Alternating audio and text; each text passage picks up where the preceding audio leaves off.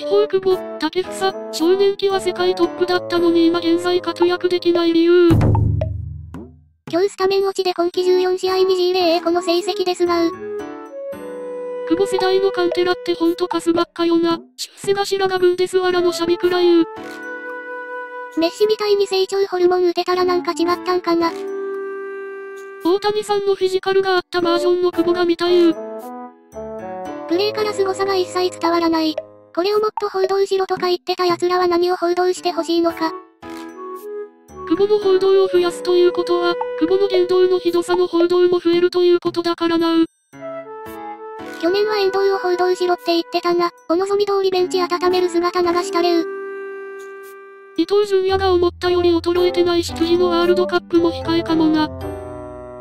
純粋にプレイスピードが遅いからな。こういうのは20後半で苦労するタイプや。速さないけど適正1ウイングですって正直使い方難しいと思う。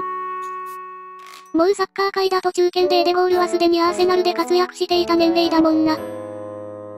2年前ほどのインパクトがないからそう見えるかもしれんけど4大リーグで普通にやれてる時点で全然終わってないんだよなご視聴ありがとうございます。ぜひコメント、よろしくお願いします。